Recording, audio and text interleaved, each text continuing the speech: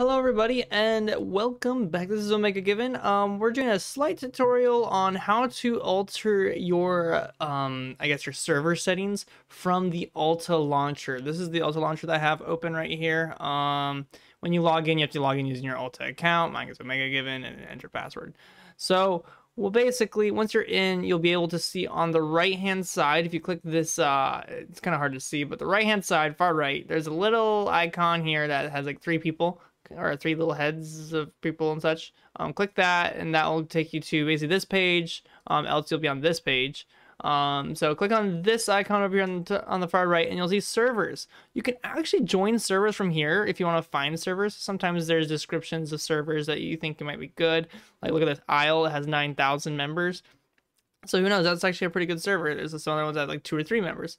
So you can find servers this way. Um, but what we want to focus on today is going on to your server. So I'm going to click on my server here. You can see it populates in, in the right here. Um, this is my Oculus server.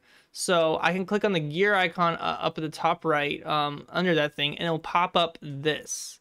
Um, this kind of helps moderate a little, like this is like a service level kind of settings of your server. Not that many settings. It's just like more roles and like just like the name of it as well as visibility of it. Um, you can see that I have made my server and prepping it for the official AT like a Township Tale SMP for creators. So th- that's what this is. Um, um, it's gonna be cooperative events, role play, blah blah blah. Um, so of course it's gonna be a private server. So here you can change it from private to public to open. I don't actually know what the difference between open and public is.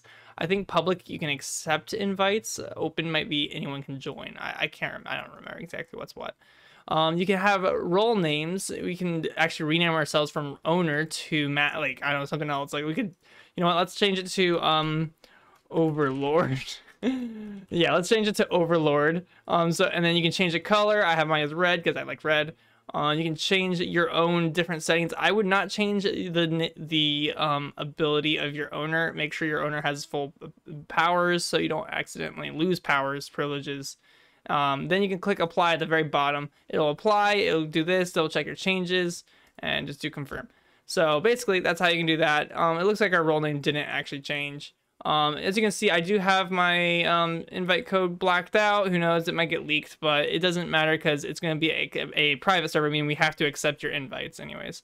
Um, the server, as you can see, I've cleared, uh, that should be taking a while. I cleared it off. Uh, I, I, I, kicked everybody from it that was on before because we're trying to, um, uh, you know, make it so it's only for creators.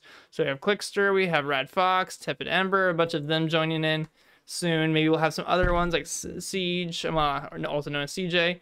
So we'll have them on. Um, but over here, you can also click on uh, moderator and you can limit a little bit of what moderators can do.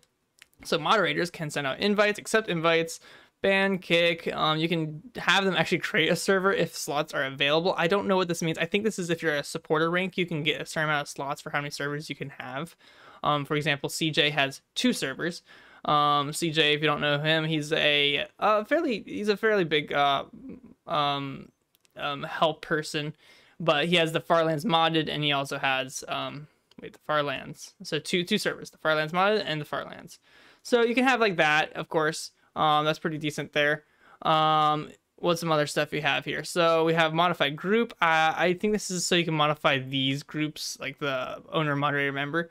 They have this functionality set as if you could create more, but we don't have more um, groups that we can create. So um, we're just going to assume that this is like, you know, for future stuff um, as well as just like moderating these these three groups. All right, able to modify a server. Um, so I'm guessing this is to be able to use the dashboard to be able to do like you know trade commands, um, spawn commands for PCVR people, and things like that.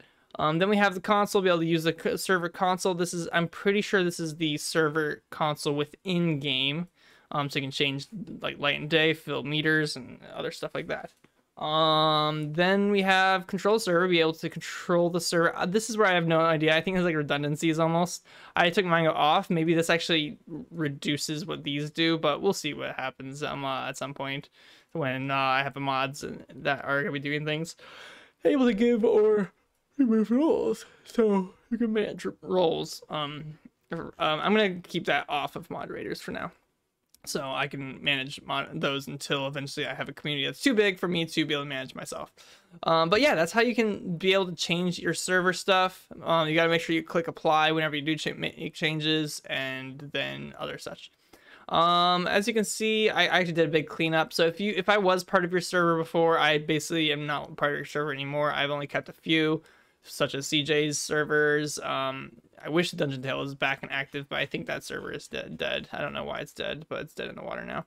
Um, we have a Japanese Tale, which is a server I joined, and a couple of other uh, people that I've joined your servers. Um, I, I joined the server a lot, but we might be able to hop on to Clickster's server sometime, so we can go and uh, I guess bother your uh, his viewers, your viewers if you're watching this Clickster.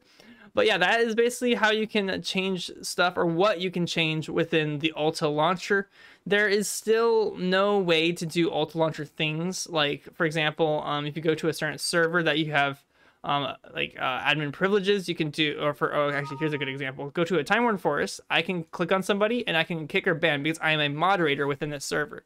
So um, with that, I could be able to, oh, I can add them as a friend. I can kick them or ban them. So I can do that. Mr. Hands, he's the, uh, we're friends. We're like, uh, he's the owner of the server. So I can be able to revoke all of these um, in, uh, banned people. Looks like we have a lot of banned people. That's a lot of, yeah, that's actually pretty crazy. Um, I think it's because um, he wanted to go to private server and go to a private server kind of setting. So yeah, that's kind of sad there, but yeah, so that's what moderators can do. Um, me being moderator saying this is the only thing I can do. I can't manage anything on the left, I only do stuff on the right. So that's kind of sad there. But yeah, if you wanted to join a township tale, I have all the links and everything.